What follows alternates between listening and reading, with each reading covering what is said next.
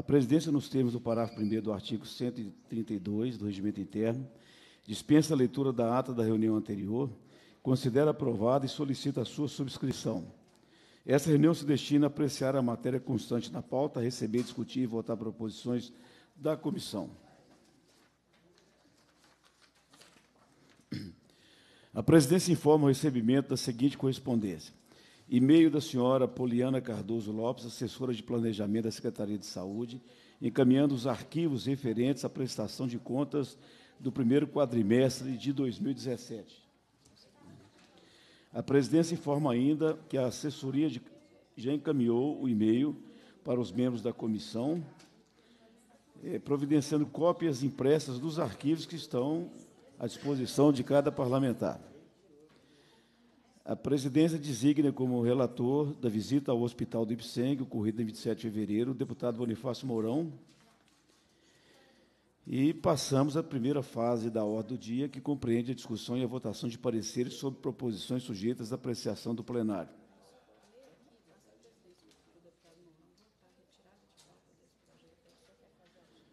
Nós eh, passamos a palavra ao deputado Bonifácio Mourão para que eu possa apresentar um requerimento.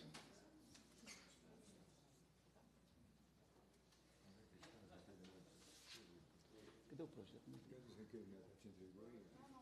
Não, é só isso aqui, depois você... Ah, eu vou presidir. É. Com a palavra o deputado Carlos Pimenta. O requerimento que nós estamos apresentando é para que seja retirado de pauta o projeto de lei 4.677 de 2017, retirada de pauta de, de leitura do parecer do qual eu sou relator, da deputada Geisa Teixeira, que dispõe sobre a implantação de medidas de informação e proteção à gestante e parturiente contra a violência obstétrica no Estado.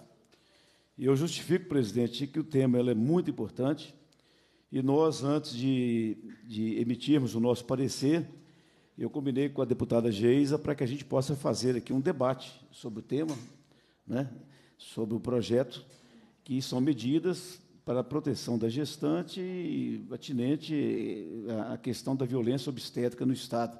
É um tema que está muito sendo discutido no Brasil todo, e eu entendo de que o projeto ele foi muito bem apresentado, mas ele precisa de algumas adequações de, algumas, de alguns avanços. Então, nós estamos retirando o, pro, o, o projeto para que possamos marcar a audiência pública. Eu solicito, eu solicito da, da assessoria que, que, que providencie também o requerimento da realização da audiência pública sobre o tema.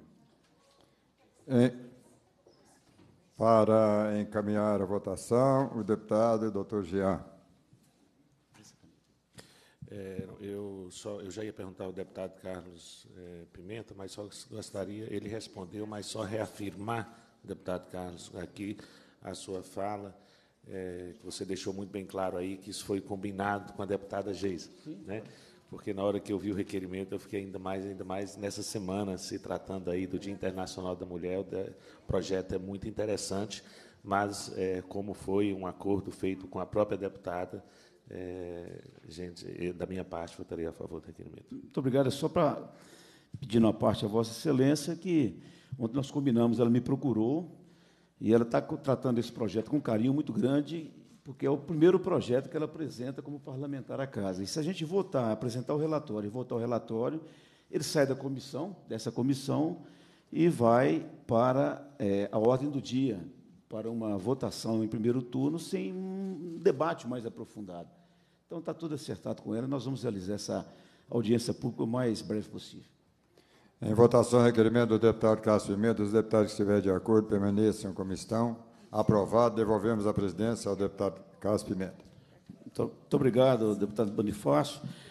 É, em primeira fase, projeto de lei 2.876, em primeiro turno, que cria o Programa de Prevenção e Combate ao Câncer Infanto-Juvenil, é, intitulado Novembro Laranja.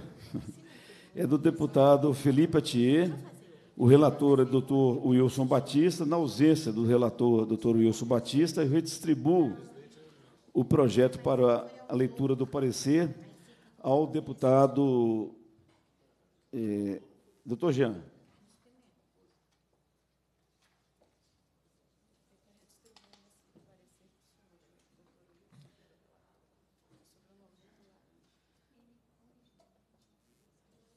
Eu indago ao relator doutor Jean se ele está em condição de emitir o parecer ou se ele precisa de tempo.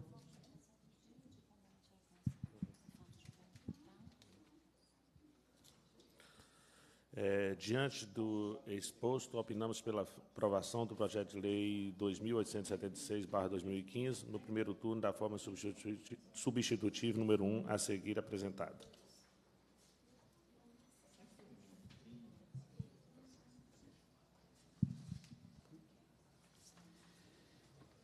Em, em votação, o parecer do deputado doutor Jean, os deputados que aprovam permaneçam como se encontra, está aprovado.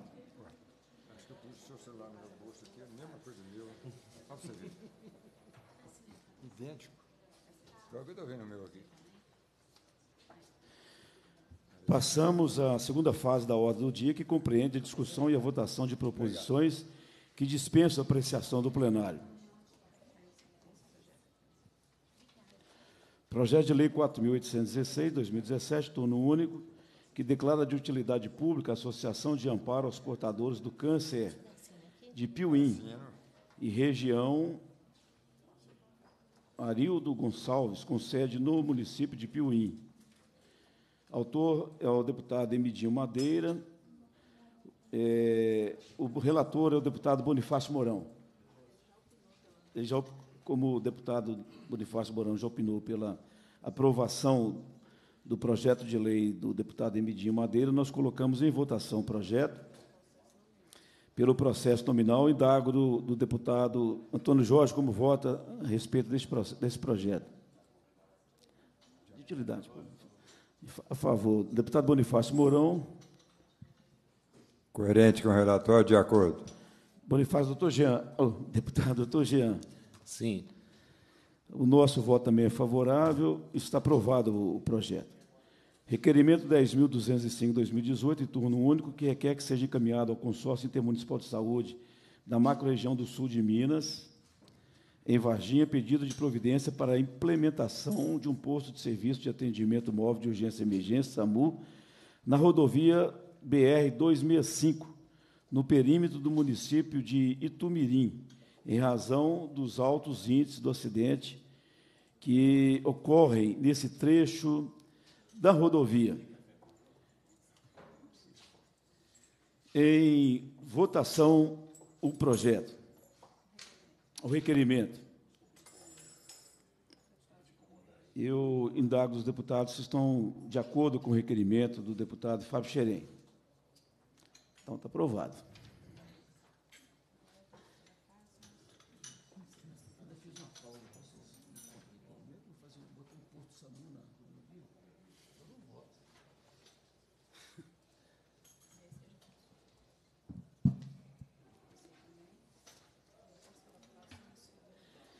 Passa-se a terceira fase da ordem do dia, que compreende o recebimento e discussão, a votação e votação da proposta da comissão. Só um minutinho aqui que houve um pequeno acidente aqui.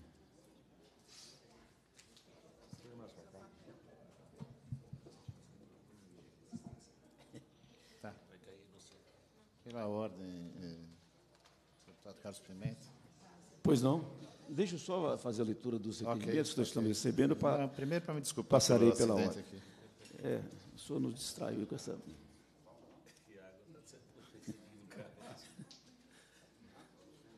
Milagre dos peixes, não para de cair água.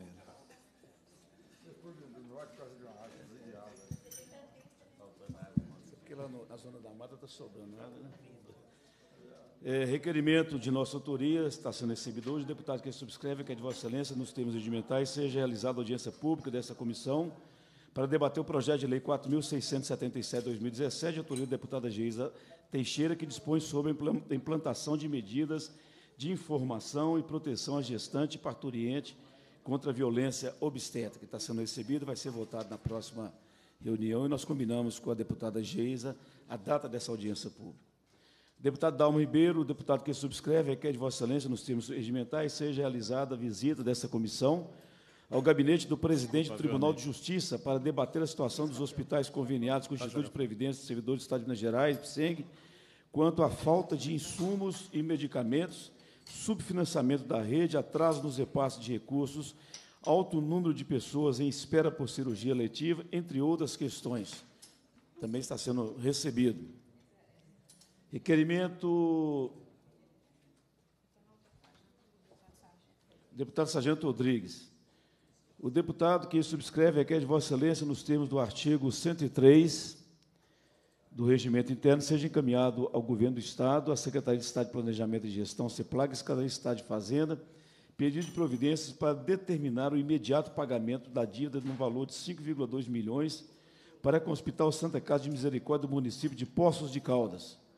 Conforme a moção número 2, número 2 de 2018, encaminhada a este deputado pelos vereadores da Câmara Municipal de Santa Rita de Caldas, a ausência de repasse dos recursos devidos à entidade hospitalar tem comprometido o atendimento médico dos moradores de toda a região, principalmente no que se refere à especialidade como oncologia. Segundo informações, os salários dos profissionais que atuam no hospital estão atrasados e os exames, e os exames procedimentos e demais serviços sujeitos à suspensão por falta de pagamentos. Assim, diante da gravidade do exposto, conto com o apoio dos senhores deputados para aprovação deste requerimento. Então, o requerimento está sendo recebido e vai ser votado na reunião seguinte. Deputado Antônio Jorge, deputado que subscreve, Requer a Vossa Excelência, nos termos do artigo 100 do Regimento Interno, seja realizada audiência pública da Comissão de Saúde para debater o ensino à distância na formação dos profissionais de saúde, especialmente na enfermagem. Também está sendo recebido. O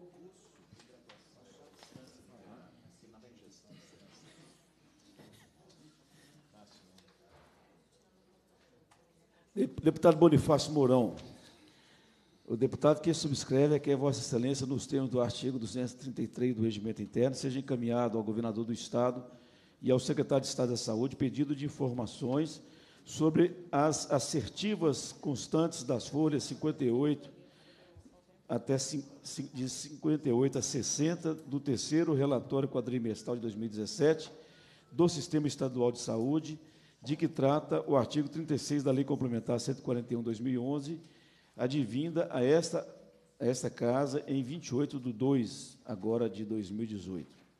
Os recursos destinados aos hospitais de Governador Valadares e Teófilo Otoni foram alocados em uma ação intra-orçamentária com a CETOP e, portanto, não serão executados nesta ação. O Hospital Regional de Governador Valadares, primeira, primeiro, primeira etapa da obra finalizada, obra paralisada em, em agosto de 2016, aguardando o novo processo licitatório que será realizado pelo DEOP. Também já está, será recebido hoje e votado na próxima reunião. Deputado Bonifácio Mourão, o deputado que subscreve nos termos do artigo 103 do Regimento Interno, seja formulado voto de congratulações com o doutor Mádio Bento Costa pela realização da operação Tarja Preta, que culminou por trazer a lume para as devidas providências legais esquemas supostamente criminosos de venda ilegal de medicamentos de uso restrito e, com isso, impedir o comprometimento da saúde dos cidadãos valadarenses. Requer ainda que seja dada ciência dessa manifestação ao doutor Mádio Bento Costa, na Delegacia Regional da Polícia Civil de Governador Valadares também está sendo recebido. Deputado Bonifácio Mourão. O deputado que subscreve requer, nos termos do artigo 103 do Regimento Interno, seja formulado voto de congratulações com o doutor Roberto Carlos Machado, presidente da Associação Médica de Governador Valadares, pela realização do projeto AMGV, Associação Médica Governador Valadares 80, que em homenagem aos 80 anos do município de Governador Valadares. O projeto consiste em um ciclo de 80 palestras a serem ministradas por 80 médicos no citado município. Está sendo recebido também do Bonifácio Mourão. O deputado que subscreve, nos termos do artigo 100 do Regimento Interno, seja realizada a visita da Comissão de Saúde à Defensoria Pública de Minas Gerais, no município de Belo Horizonte, para expor e debater com o senhor defensor-geral acerca da precariedade das condições de saúde pública no Estado, especialmente face à ausência, mitigação e ou escassez dos repasses legais do governo estadual aos municípios mineiros. Deputado Bonifácio Mourão, o deputado que subscreve na forma regimental requer de Vossa Excelência a realização de audiência pública para discutir a relevância da Lei de Responsabilidade Fiscal, que este ano completa 18 anos, face às contas públicas da saúde no Estado de Minas Gerais. Também está sendo recebido.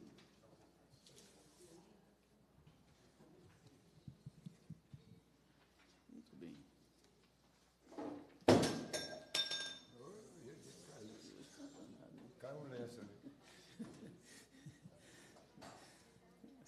Vocês não estão, obedecendo a, a solicitação de economicidade do nosso presidente, não, quebrando os copos tudo aqui. Bom, eu indago dos senhores deputados se alguma matéria a ser Eu, apreciada, se alguma. ah, Pela ordem, Não, deputado. não, faça favor. deputado Bonifácio Mourão, pela ordem. Senhor presidente, senhores deputados, nós estamos aqui com uma parte do terceiro relatório quadrimestral de 2017 do governo Pimentel.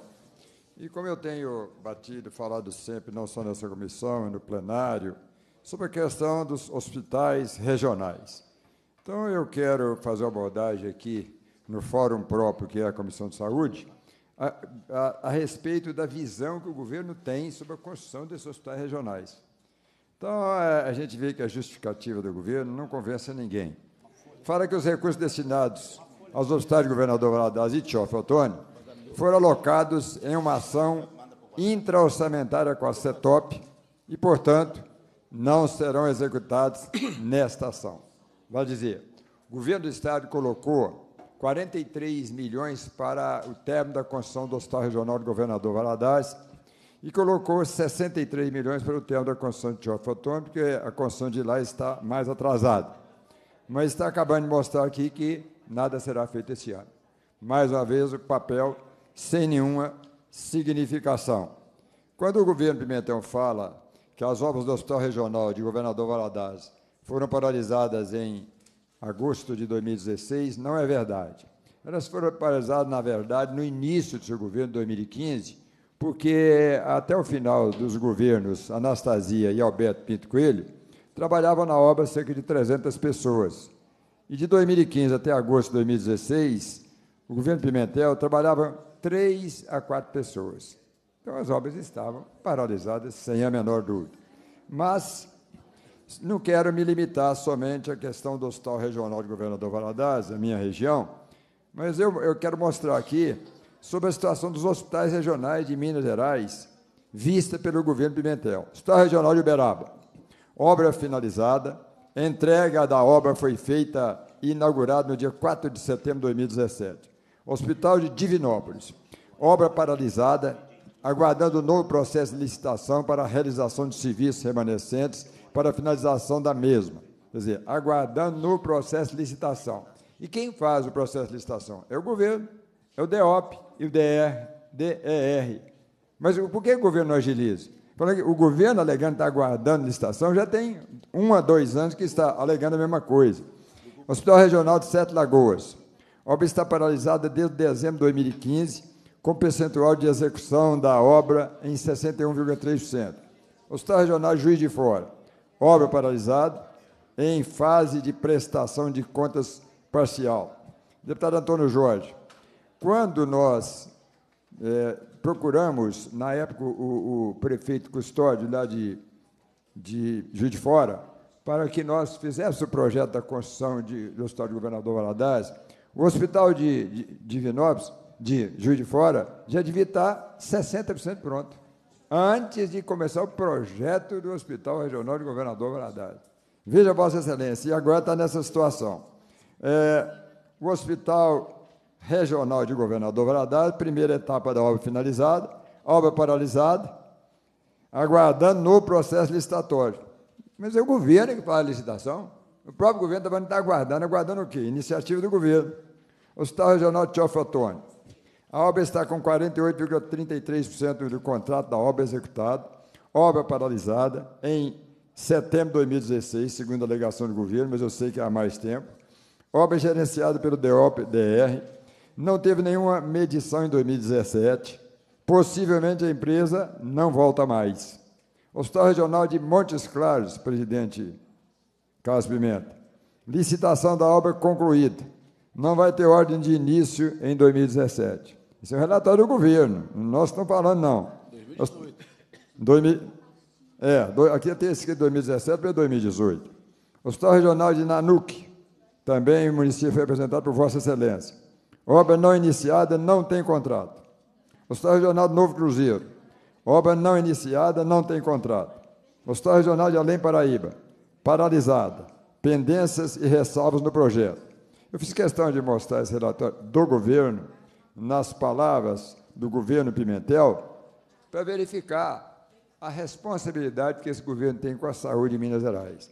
Esta comissão, através de seus membros, e mesmo no plenário, nós temos feito críticas inúmeras, ouvido os nossos colegas, incluindo os colegas que estão aqui presentes, o deputado Carlos Pimenta, o deputado Antônio Jorge, mostrando o absurdo, descaso total, a falta de rumo desse governo, particularmente na área da saúde.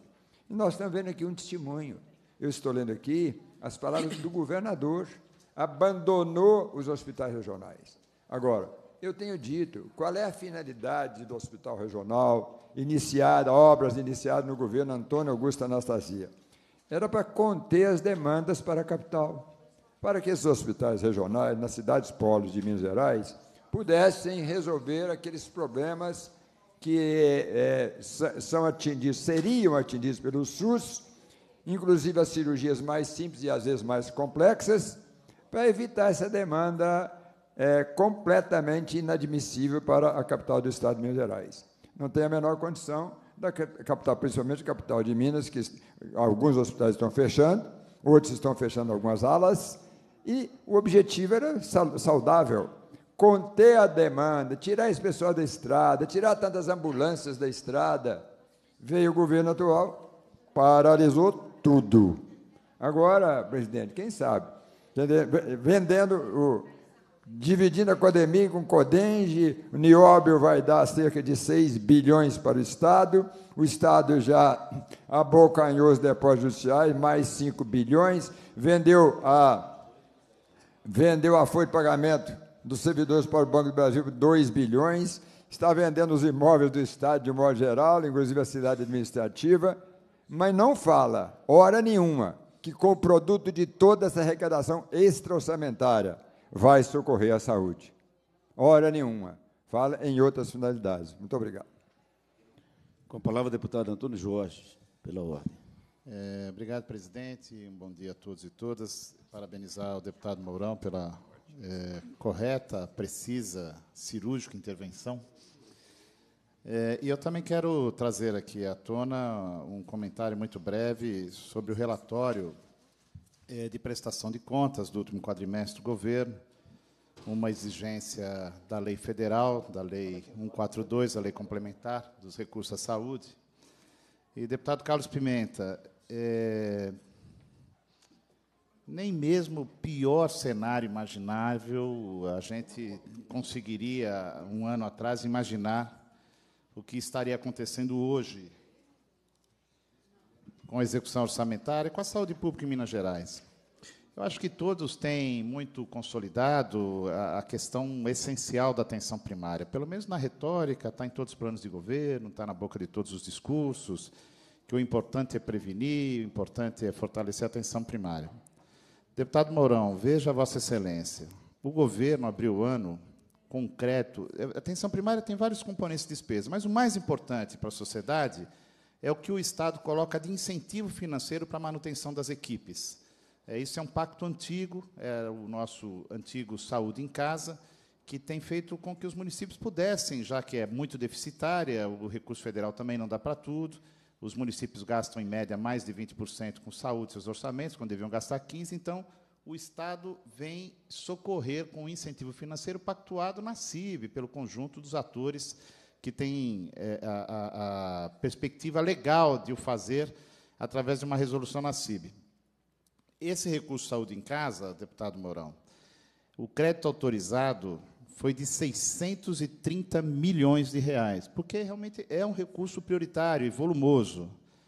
Foi empenhado 611. Foram processados 611. Que boa notícia. Mas sabe quanto foram pagos dos 611 milhões? 6 milhões.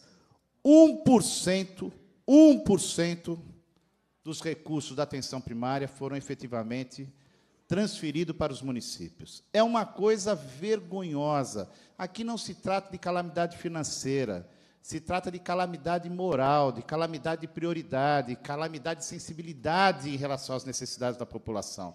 É absolutamente inimaginável um cenário como esse. Eu tenho convicção que nem o Estado do Rio de Janeiro, sem nenhuma ofensa aos nossos irmãos cariocas, eu que sou carioca do Brejo, lá vizinho ao Rio de Janeiro, mas dada a crise notória que o Rio de Janeiro, eu, eu aqui duvido que o Rio de Janeiro tenha tido uma execução na atenção primária tão baixa como a de Minas Gerais. É vergonhoso. Isso aqui é decisão política, isso aqui é diligência técnica, é capacidade de gestão, é uma coisa assim realmente inimaginável. E sabe quem está pagando a conta? O cidadão porque está faltando remédio, os postos faltam funcionários. Não há, o prefeito não consegue fazer a manutenção dessa atividade sem a responsabilidade do Estado. Um outro dado aqui, todos eles são muito assustadores, mas um outro dado aqui importante, nós estamos vivendo, infelizmente, essas crises é, o recrudescimento de algumas endemias, agora a febre amarela nos aterrorizando, e nós temos um, uma instância que ela é crítica no enfrentamento, que é o único laboratório de saúde pública que nós temos que faz a sorologia, que é o laboratório da Fundação Ezequiel Dias, é, e o recurso é muito pequeno, são 10 milhões. Mesmo com essa imensa epidemia, e, e deixar claro que a maior letalidade da febre amarela está em Minas Gerais, é quase o dobro da letalidade de São Paulo mesmo com essa imensa epidemia, sabe quanto foi efetivamente pago dos recursos do laboratório? 40%. Um ano como esse, que era para a gente ter aqui suplementação orçamentária, dada a crise que se abateu sobre a saúde pública e a questão dos exames, das sorologias, não, nós tivemos 40%. Pesquisa, pesquisa, 0%. Sabe de quem que é o dinheiro da pesquisa? É dinheiro federal. Onde está esse dinheiro? Sabe onde está esse dinheiro, deputado Mourão? Pela absoluta incompetência gerencial do governo do Estado, ele está acumulado nos bancos rendendo recurso. Esse recurso do PPSUS, que vai para a FAPEMIG num convênio, que é para fazer desenvolvimento de tecnologias em saúde, com outros recursos federais transferidos, estão no meio dessa crise de inadimplência do governo. Estão parados nas contas, nas várias contas, são contas é, de convênio, é, do governo do Estado, do Fundo Estadual de Saúde. Sabe quanto, deputado Carlos Pimenta, que nós temos de recurso federal rendendo juros nas contas do governo do Estado? Pasmem os senhores, 500 milhões de reais, meio bilhão de reais parado nas contas, rendendo, porque é uma obrigação legal, o dinheiro não pode ficar parado sem estar aplicado, 500 milhões, meio bilhão. O dado é da Secretaria de Estado da Saúde, vamos deixar isso bem claro. Não se trata aqui de nenhum proselitismo. É lógico que são recursos carimbados de programa A, programa B, mas nós vivemos uma crise. Eu já discuti isso com um ator importante do Ministério Público, ele tem um entendimento como o nosso, que é lógico que, sendo recurso federal e tendo autorização para a CIB, esse recurso poderia pagar outras obrigações da saúde. Não tem sentido a população estar sem vários atendimentos com 500, meio bilhão de reais ao final do ano rendendo juros. Então, é essa a nossa situação. Tem nada de calamidade financeira, o que existe aqui é um apagão de gestão, um apagão que eu acho que passa a ser um apagão moral pela falta de retidão com as prioridades que são as mais importantes da população. Deputado Carlos Pimenta, mais uma vez, vou insistir com Vossa Excelência, com o deputado Mourão. Nós precisamos ir ao doutor Terrão, nós precisamos ir ao doutor Toné, nós precisamos ir ao nosso presidente Dalclever, nós precisamos aprovar o nosso projeto que acaba com essa farsa dos restos a pagar, que põe limite nessa imoralidade que os governos ficam utilizando para não ter efetividade no orçamento da saúde. Nós, nós, quero falar aqui com, com muita tristeza, nós vamos assistir brevemente o total apagão da saúde. Muitas vidas serão perdidas se não houver alguma atitude que reverta esse quadro. Muito obrigado, deputado Antônio Jorge. Eu só queria também é, deixar claro, Antônio Jorge, que nós já estamos programando as visitas. Nós tomamos a decisão de visitar o Tribunal de Contas, Tribunal de Justiça, o Ministério Público e o Conselho, o Conselho Estadual de Saúde. É, a visita ao Tribunal de Contas está marcada para o dia 13, próxima terça-feira, às 10 horas. Então já está marcado. Nós vamos lá no Tribunal de Contas para a gente sentar com ele. É uma nova visita. Eu solicitei uma visita com pleno, mas aí o presidente falou que ele estaria disposto a nos receber. Não sei por que, por que os, outros, os outros conselheiros, mas eu vou ligar ainda para o, o Sebastião Elvésio, o doutor Viana o Vanderlei Ávila, para que eles possam nos acompanhar nessa visita. Está marcado para o dia 13. Os outros estão sendo negociados, acertadas as agendas, e também nós estaremos indo o mais rápido possível. Eu queria também, antes de terminar, eu quero concordar com tudo que foi dito aqui. A questão dos hospitais regionais, e eu não tenho nenhuma esperança que o governo, esse governo que está, ele reinicie qualquer obra mesmo porque, se ele terminar uma obra, ele vai ser obrigado a colocá-la funcionar, para funcionar. E nós estamos vendo aí que o governo do Estado é, está absolutamente perdido na gestão da saúde pública. Eu vejo aqui um amigo, o Renato Louze, lá da cidade de Nanuque.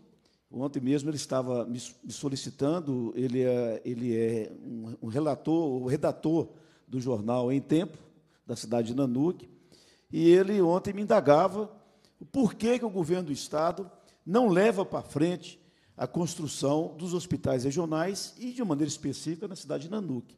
A cidade de Nanuque ela tem hoje 50 mil habitantes. Ela depende exclusivamente, umbilicalmente, da cidade de Teoflotone para o atendimento aos pacientes mais graves. E nós sabemos que o, o caos que se instalou na cidade de Teoflotone e também na cidade de Governador Valadares. Eu até queria propor ao deputado Mourão que nós teremos ainda duas audiências públicas fora dessa casa que nós façamos uma dessas reuniões, uma dessas audiências, ou na cidade de Teoflotone ou na cidade de Governador Valadares. Vamos acertar aí, então, qual das cidades que nós vamos eh, realizar essa audiência pública, que são duas cidades importantes ali na região do Rio Doce, na região do Mucuri, naquela região de Minas Gerais.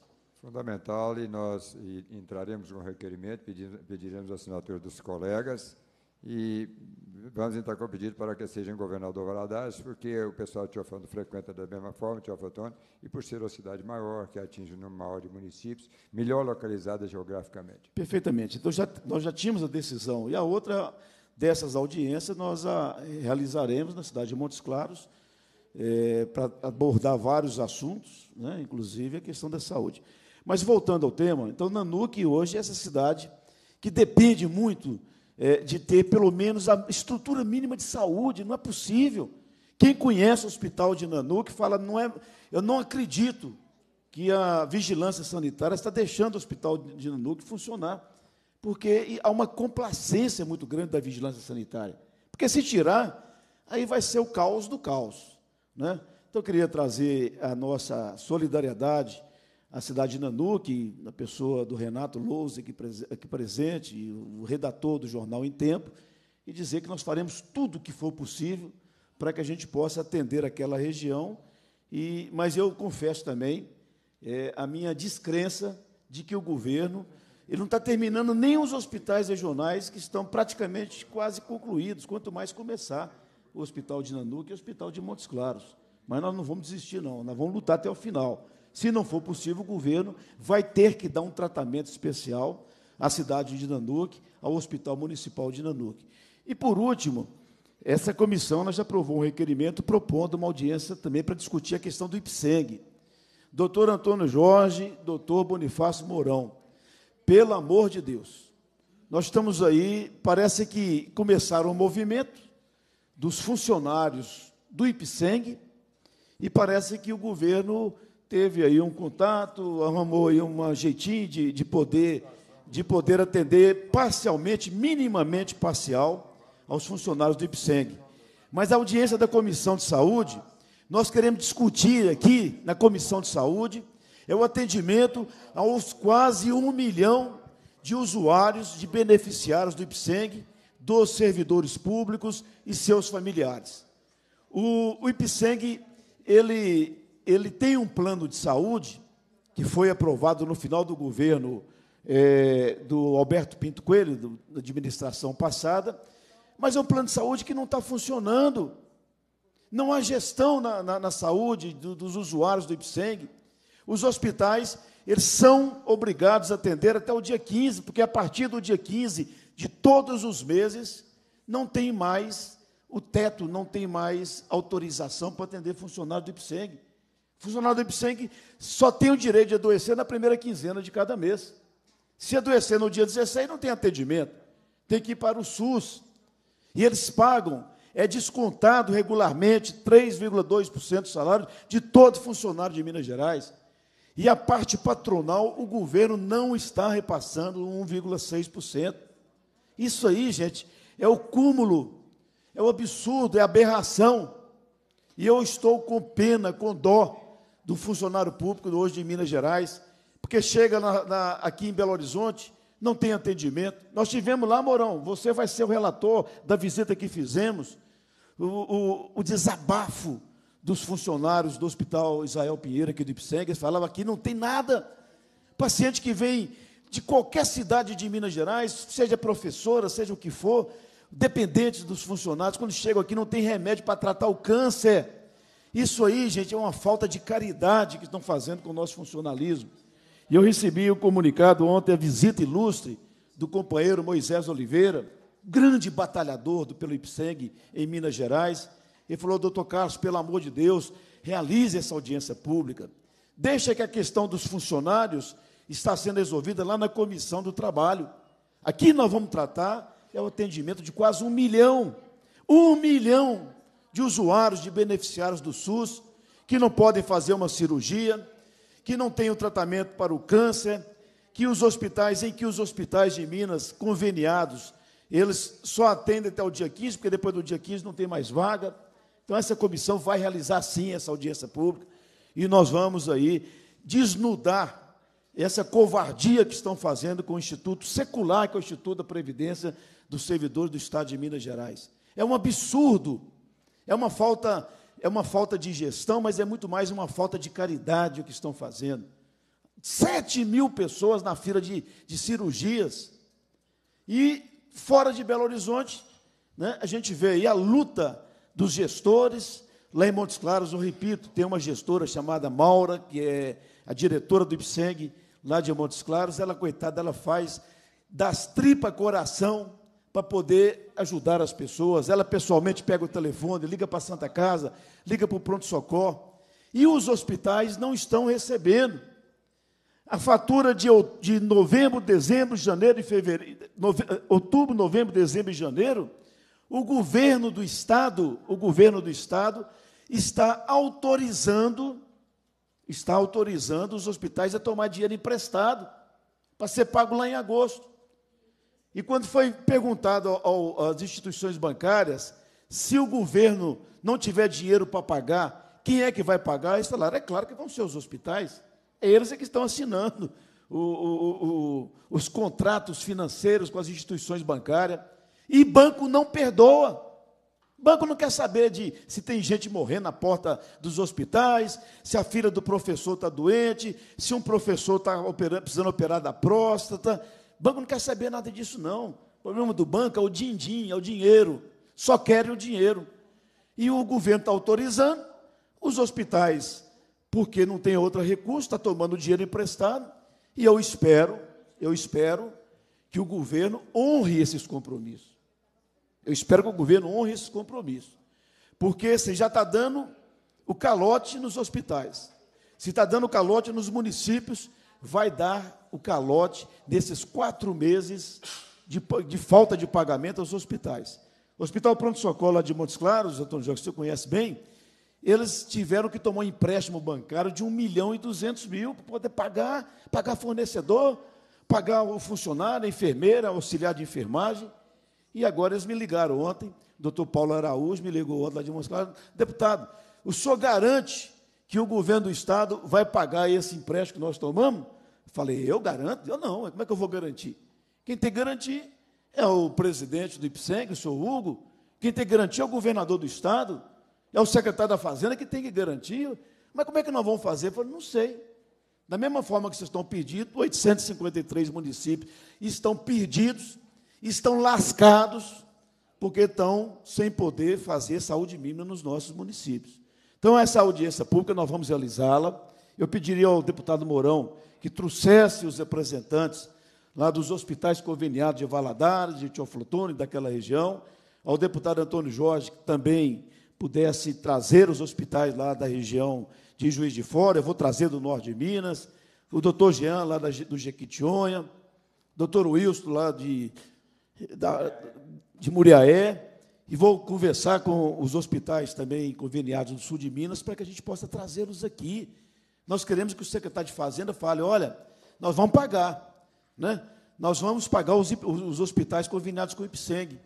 Se os hospitais não puderem pagar, o governo vai honrar esse compromisso.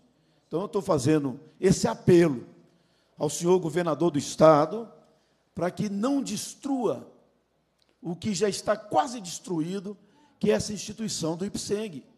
E meu caro Moisés, meu abraço, fique, tenha a nossa solidariedade, e nós vamos realizar essa audiência sim, agora no mês de março, no mais tardar em abril, para que a gente possa mostrar né, esse, esse tsunami que está varrendo o IPSEG e que está destruindo o trabalho de mais de um século dessa instituição, que não é do governador, que não é de nenhum deputado, mas é do trabalhador mineiro, é do servidor mineiro, que é o patrimônio que ele tem, que é o IPSENG. Muito obrigado, desculpe o desabafo. Cumprida a finalidade da reunião, a presidência agradece a presença dos parlamentares, convoca os membros para visita à Secretaria de Estado da Saúde, a ser realizada em outra, em outra reunião que nós vamos marcar, porque infelizmente surgiram compromissos de última hora, e para a próxima reunião ordinária